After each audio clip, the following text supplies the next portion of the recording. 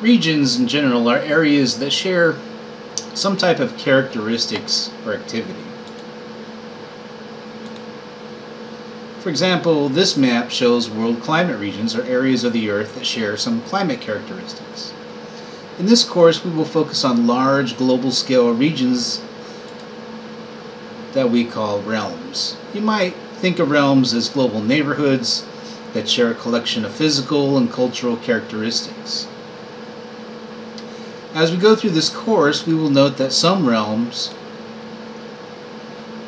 are what we call monocentric.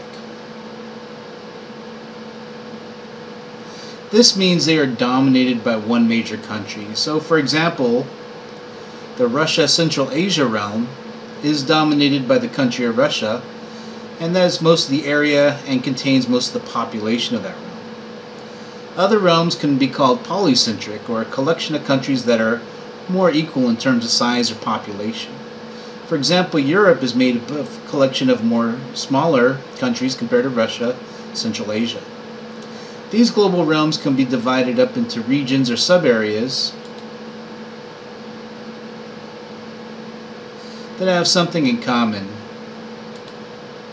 So here, in this figure, we have global realms, which are roughly the chapters of your book.